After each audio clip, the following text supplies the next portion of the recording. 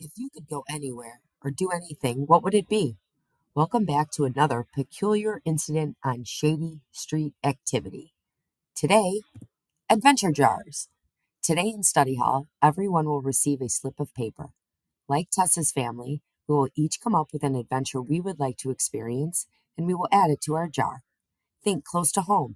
What is an adventure you could have here in Plainfield or the surrounding communities? Remember to keep it school appropriate, Wildcats. Once your paper's done, tape it to the jar. We look forward to sharing your adventures.